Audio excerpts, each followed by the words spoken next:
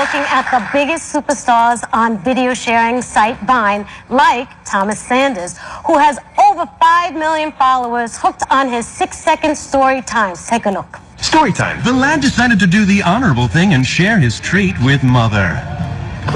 oh, story time. The man knew exactly what to do to embarrass his son. Story time. The man came to the bus stop every day to pick up hot chicks. Story time. It was clear that a romance was blossoming between them. No! A romance lasting a lifetime. From Gainesville, Florida, please welcome Thomas Sanders. How are you guys doing?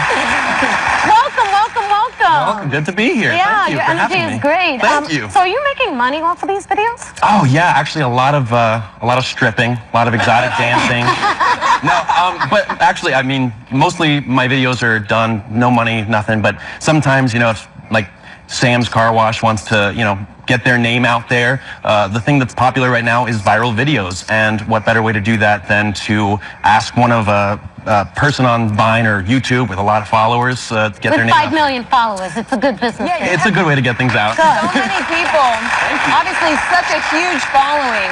But what do you do with all this long term? What do you do with this following you have now? Uh, well, I, I love to correspond uh, with a lot of my fans. They're all over the world. It's fantastic to talk to them and get to know their story. But what I would love to do, my end game, is to uh, voice act. I do a lot of, you know, I try to go into my narrator voice a lot, and love uh, I would love to voice act. But the end game would really be uh, Broadway. I'm a very theatrical person, if you hadn't guessed. Oh, that would be fun. Yeah, you have a good voice.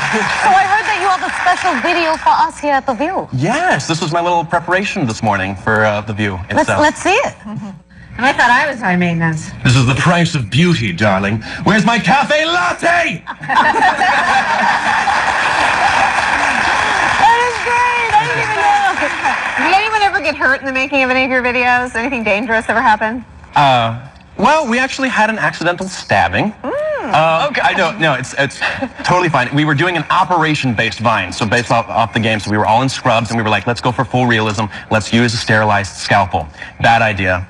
And so we were all reaching, and then what? She got nicked, and there was blood. She fainted from the blood. She did not like blood. Right. she Oh, no. came to, and then she was. Uh, Well, she I'm thought she was in a real hospital. I'm glad she's okay and you're adorable. So please be sure to catch more of Thomas Sanders on Vine. Stacy London and Samantha will be back tomorrow. Have a great day, everyone, and take a little time to enjoy the.